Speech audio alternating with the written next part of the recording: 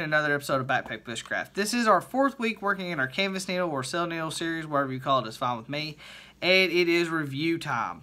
What I have to review today is uh, a very iconic, at least in my opinion, a very iconic little green and white package that most bushcrafters have seen once or twice.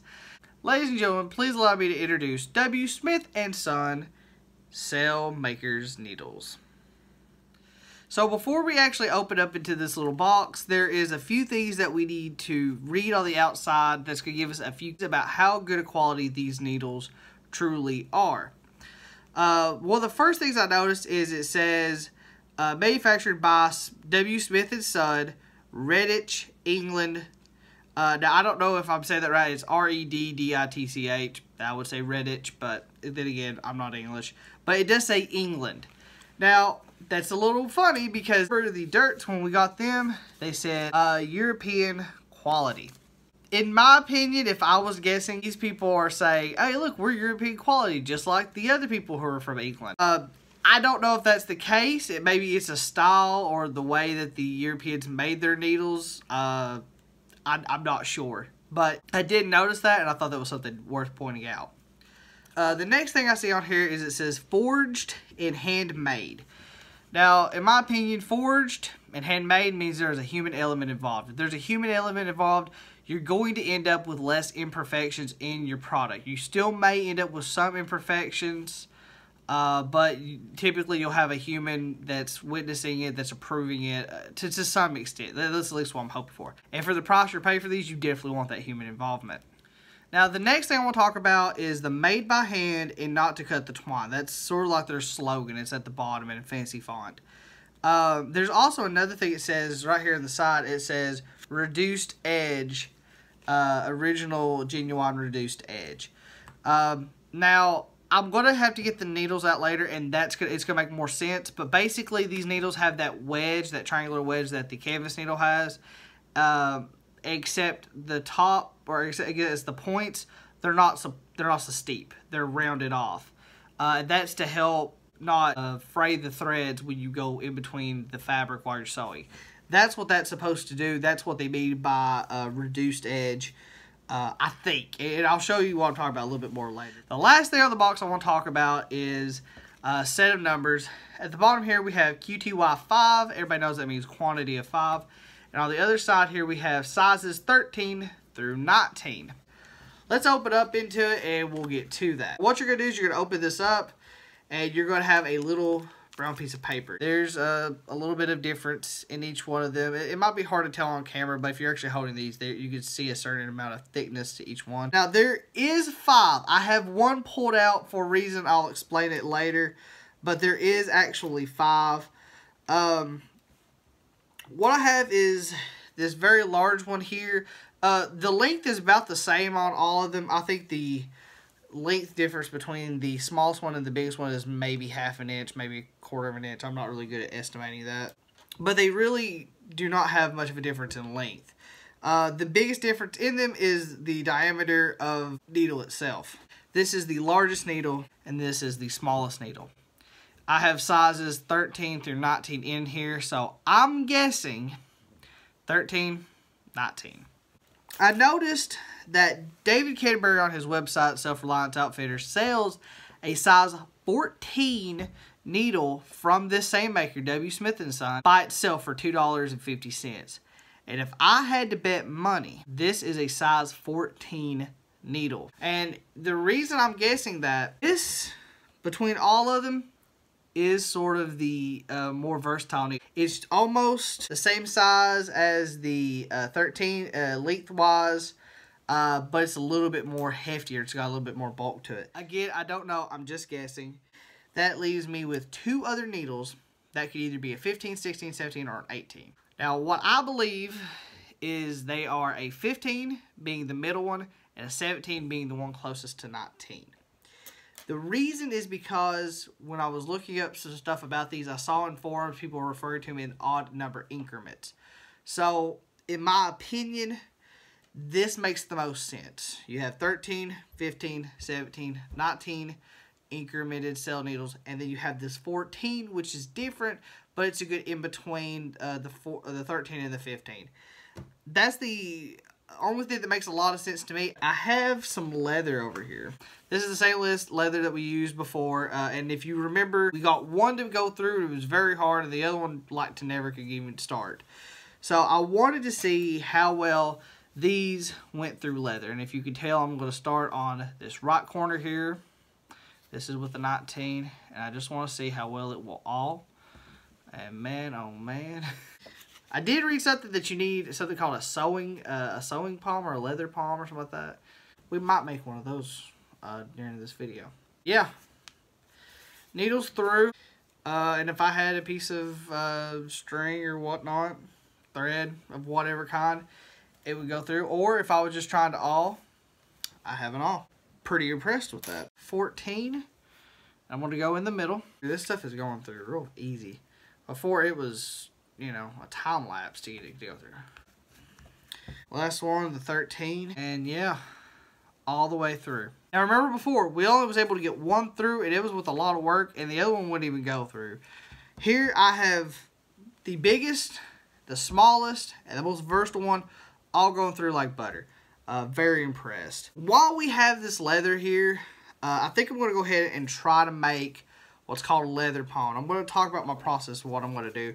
And this is something neat about it is I'm going to be making it for my needles. I'm to use my needles to make it. Cut my leather here.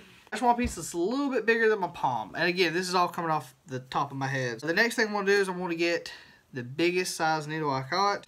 So what we got here is three holes on each end. I got some bank lines, one we used to sew it up with. And all I'm going to do is just cut the end so I can fray it apart. Now you could use paracord, using strands of paracord. I'm then going to put this through my 19. Now once I have it through, if I'm lucky and I'm careful, I should be able to get it to stop at that knot. It did. I can then pull the other end out and I don't have to worry about this coming loose. Now I want to keep the thread in the eye still and I want to go straight across. Now, once I have it all the way through here, what I want to do is I want to come over here and I want to tie another knot. Just in the end here. All I got to do is just sit it down on my hand like that. I'll have probably three others or whatever. And we'll go ahead and finish up the other holes. I'll show you when it's done. For now, this will work. Ooh, yeah, that fits good. I can switch, can put it on my left hand. I can put it on my right hand. Main thing, it ain't hurt my hand no more. Yeah, I mean, you can feel it. it. It did gouge it just a little bit. But then again, I got a whole lot of leather to work with. All right, well, now that we've uh, seen how well they work with leather, let's try them on some canvas. Sort of what they're uh, known for. What I have here is the number 14 with a little bit of paracord. I'm not even tied it off at the end. I'm just going to put a running stitch through this and see how well it does. Pretty nice, nice grouping. I'm happy with it. 19, this is that upholstery thread. See how well this works.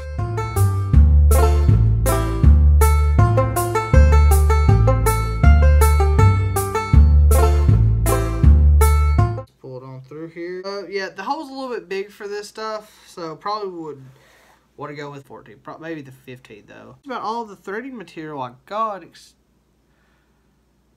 I could try the jute.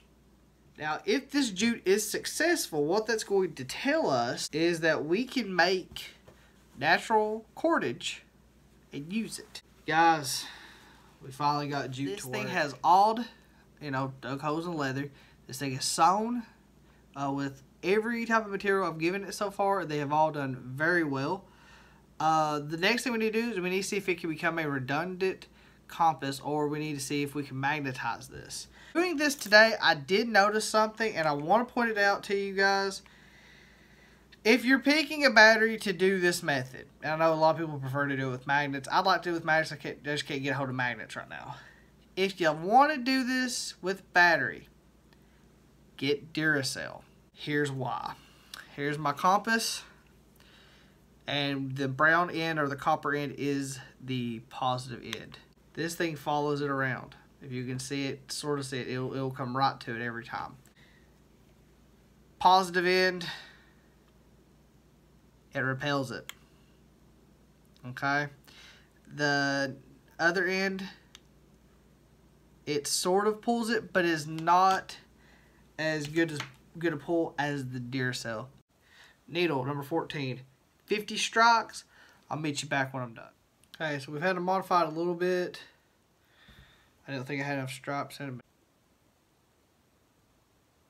It's, it's just about parallel. So here's our needle.